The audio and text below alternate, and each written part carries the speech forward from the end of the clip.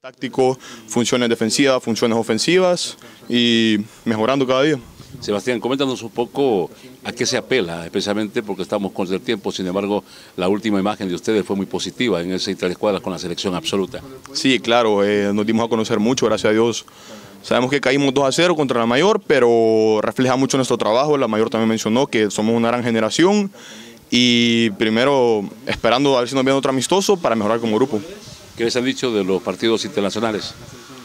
Eh, no nos han avisado la fecha que vamos a salir específicamente, no te voy a mentir, pero sabemos que los contrincantes, las islas, son, son de estatura más grande, más peso más grande, pero probablemente, como dicen, nosotros con la pelota somos mejores, así que le vamos a sacar beneficio a eso.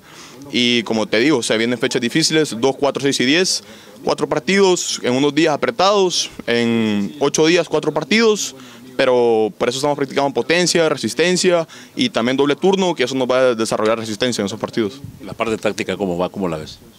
La veo muy bien, el, el parado de los profes, ellos van a analizar diferentes esquemas para diferentes partidos. Vos sabés que cada país le tenés que jugar de una forma diferente y estamos practicando diferentes métodos. De los nuevos en llegar, de los jugadores que provienen del extranjero, eh, ¿qué nos puedes opinar? Ah, grandes compañeros. Eh, les he estado ayudando bastante también porque yo también soy doble nacionalidad y ayudando a los compañeros que se acoplen y feliz, yo fui feliz por ellos también porque se acoplaron de un día para el otro. Eh, no les ha costado nada, todos pueden hablar los dos idiomas y traen, si pueden aportar, bonito para nosotros y todos traen cualidades diferentes que nos puede ayudar al grupo. Suerte en la semana. Gracias.